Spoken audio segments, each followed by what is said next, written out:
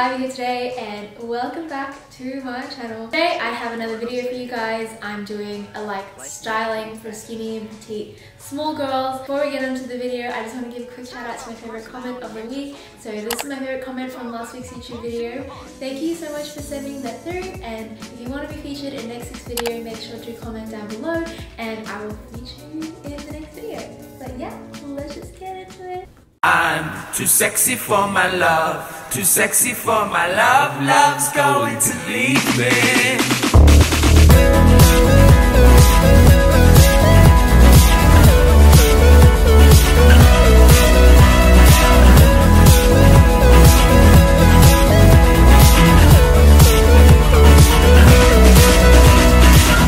I feel like as a skinny and petite girl, majority of us tend to steer away from things like sweatpants because they're really baggy and loose and feel like they would not help complement our bodies at all. In actual fact, if styled properly with a nice crop top, balance out the bagginess of the bottoms, they would actually look really well together. Something that I feel is so important as being a skinny petite girl is always finding the right pair of fitting pants. I found these from Supre recently and I have been in love. I've mentioned this once, I've mentioned this twice, and I'm to mention it again.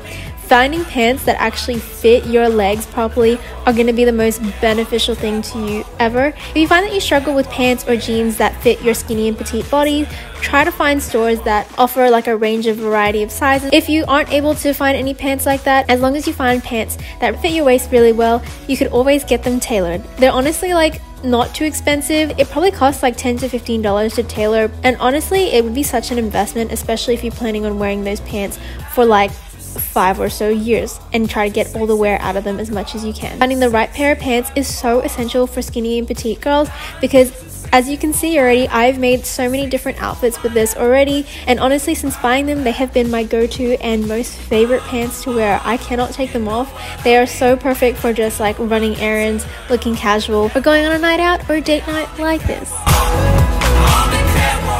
Baby, you should know by now that I'm right for you.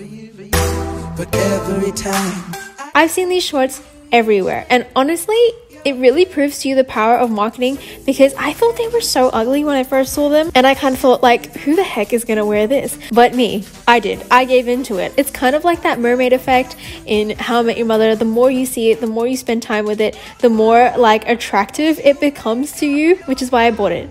I initially thought it wouldn't look good on my like skinny and petite body because it is quite a long pair of pants and also very, very baggy. But as you can see here, pair it with like a halter top, something tight fitting, or even pairing it with like a sweater, it really still doesn't drown out my figure or anything like that and still looks really cute.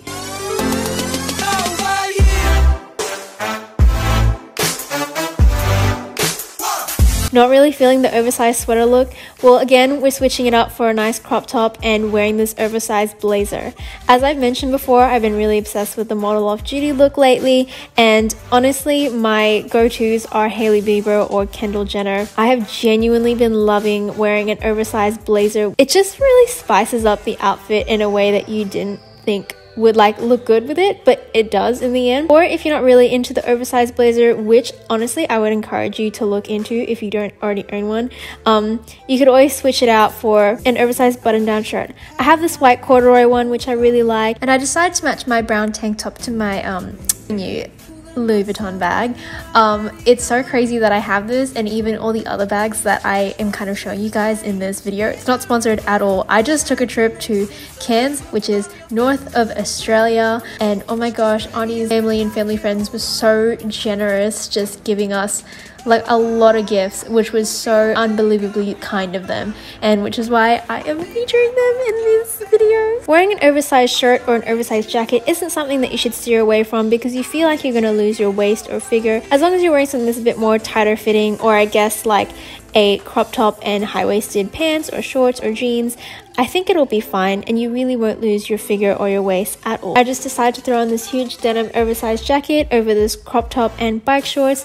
Honestly, I don't necessarily feel 100% comfortable walking around in an in a crop top like this and bike shorts out anyways. So I love that the oversized jacket can give me a bit of comfort hiding my little body underneath. I think this outfit is super cute and again, very uh, model of duty, which is 100% what we're trying to go for. And the reason why I use like Kendall Jenner and Hailey Bieber as like my fashion inspiration lately is because I'm trying to find more women or girls that have the same similar body style as me. I'm not like as skinny as like Kendall Jenner or as tall as Hailey Bieber or anything like that.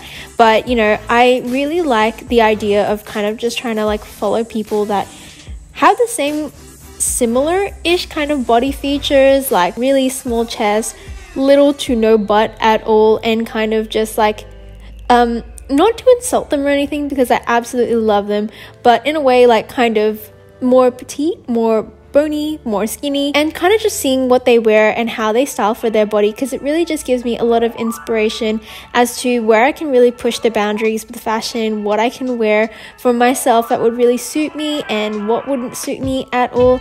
And honestly, I would 100% encourage you guys as well to experiment in your fashion and try all these different things that you honestly thought you couldn't pull off in the first place. Like, I used to be so worried about wearing blazers because I thought the shoulder pads would really drown me out, make me look really tiny and really petite, but I've found myself absolutely loving blazers, even the ones with the big shoulder pads. Same goes for this dress. I used to think that, you know, girls with like, I guess, like a bigger butt or I guess like some kind of cleavage would be able to pull this off, but I genuinely love it for how it looks on my body and I wouldn't change my body any other way. I 100% believe, though, anyways, that if you are a little bit insecure about how you look, like you might think that you'll look bony in these kind of dresses or really skinny, I think that these kind of dresses honestly look best on like really tall and slim girls or just really slim girls in general.